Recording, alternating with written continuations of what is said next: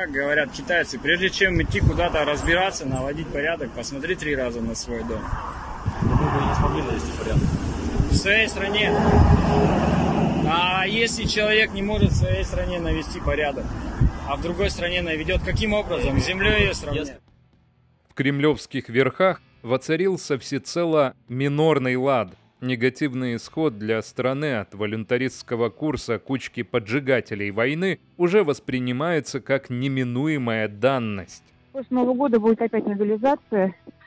Миллион хотят набрать, и 300 тысяч женщин из них будут. В общем, уже будет всеобщая мобилизация. Наверное, до последнего россиянина, пока у всех не угробит.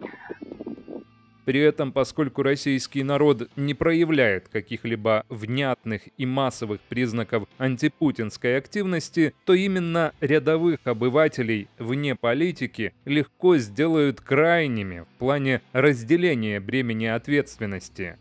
Даже вот пишут, что расстреливают ребят, кто отказывается идти. Тема круговой поруки всех россиян планомерно вводится в мейнстрим. Верно ведь? Кто не против нас, тот с нами. Как пришла повестка, никуда он не побежал.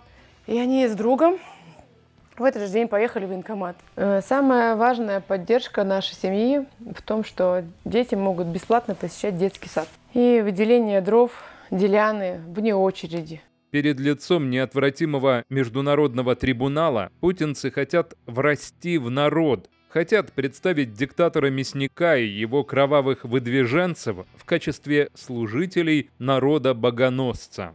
Не зря мы боролись, не зря пацаны гибли.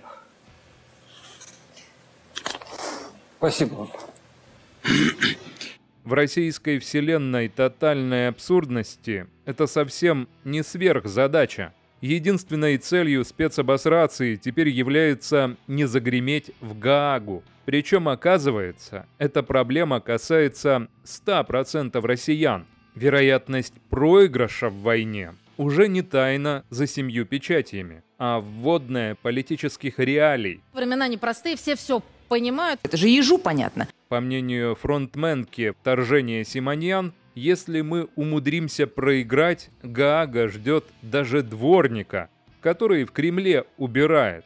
Масштаб катастрофы, которой обернется наша страна, если мы умудримся это сделать, он, ну, даже его представить себе А мы не можем? нельзя. Крайняя форма психоза и передергивания пропагандистки с целью запугать обывателя и заставить его идти убивать и гибнуть. Истощив все имеющиеся аргументы, в дело идет гиперболизация страшилки «сядем все».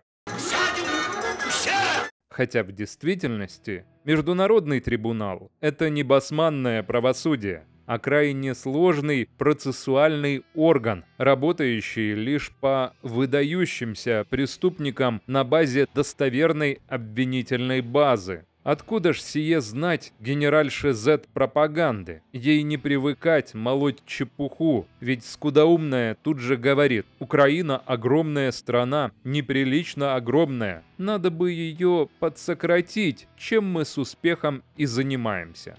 С такими поводырями России и враги не нужны, ведь желающих подсократить ее территорию уйма. Что хотят, то и делают. Своеобразный призыв к китайцам, туркам, финнам, немцам, японцам смело проводить свои спецоперации по восстановлению исторической справедливости. Друзья, не забывайте про лайки и комментарии. Канал существует благодаря вам. Стать спонсором ОМТВ можно на Patreon. Ссылка в описании под видео.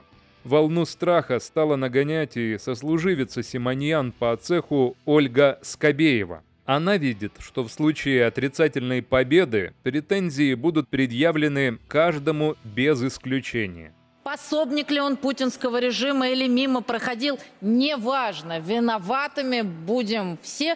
Поэтому и исходим из того, что на кону стоит в прямом смысле слова и существование страны, и существование каждого гражданина Российской Федерации. В ее больном воображении живут образы ГУЛАГа, ведь всех россиян за рубежом после краха путинского режима сразу же арестуют. Пособник он путинского режима или мимо проходил, неважно. Виноватыми будем все. Поэтому и исходим из того, что на кону стоит в прямом смысле слова и существование страны, и существование каждого гражданина Российской Федерации, и наша жизнь, будущее в том числе. Зачем Западу такое вообще нужно? Тем более после демонтажа путинизма и освобождения России от существующей скверны ответа не найти нигде. Они желают нам не свободы, а хотят видеть нас колонией. Хотят не равноправного сотрудничества, а грабежа. Хотят видеть нас не свободным обществом, а толпой бездушных рабов. Таким же образом кремлевская пропаганда так и не ответила на вопрос о сиюминутном приеме частично оккупированных Донбасса, Херсонской и Запорожской областей. Нет, нет, нет. Не, поверьте мне, ничего подобного никто не планирует.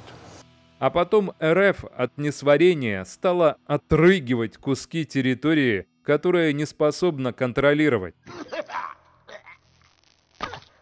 А постройка засечной черты в Белгородской области и вовсе не поддается логическому объяснению, лишь дополнительно подчеркивая средневековый характер гибнущего режима. Рабочий день губернатора начался с осмотра засечной оборонительной черты.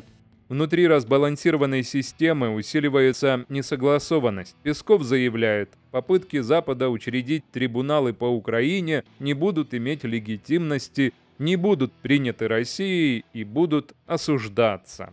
Да лампочки! А Медведев вдруг твердит о колоссальной задаче россиян сохранить самих себя, страну и своих людей. Ну хоть это ни много ни мало. Самая настоящая, экзистенциальная задача, которой до полномасштабного вторжения отродясь не было. Как же так, кормильцы? Мир в буквальном смысле теряет Россию, которая только начала выселять людей из трущоб. Я уже э, обращал на это внимание коллег. Примечательно появление на фоне паники с трибуналом двух мыслей. Во-первых, возможен военный переворот в Москве, ведь еще до спецобосрации произошел раскол в среде военных. Путин скрыл план вторжения от части верхушки армии, которой не доверяет, и от этого все пошло наперекосяк.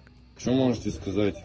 Ну, бандит, помылся, ну, выпил маленько, ну и все. Во-вторых, самостоятельность РФ в войне признана сомнительной. Она игрок, которым воюет в рамках сложносоставной операции с катастрофическим для нее самой исходом. Для наглядности тут же карта, где нас режут на 17 кусков и кусочков.